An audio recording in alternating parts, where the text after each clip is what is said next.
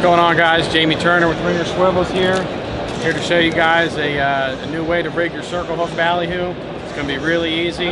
What we have is a, uh, a rubber O-ring molded into a barrel swivel and it's going to be able to give you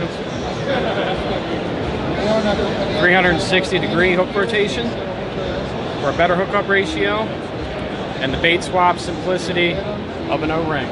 Um, pairs really well with uh, Squid Nation's new rubber bullets that you're going to be able to find at TackleDirect here shortly. And again, the 360 degree swivel ability is going to find the corner of the jaw of that marlin more times than not. We've got two sizes. We've got a size one and a size two.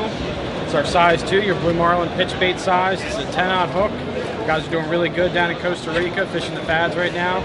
Really good hookup ratio. So, like I said, really easy to take off, really easy to put on. So you can find them at TackleDirect shortly. Thanks for coming by. ICAST 2018.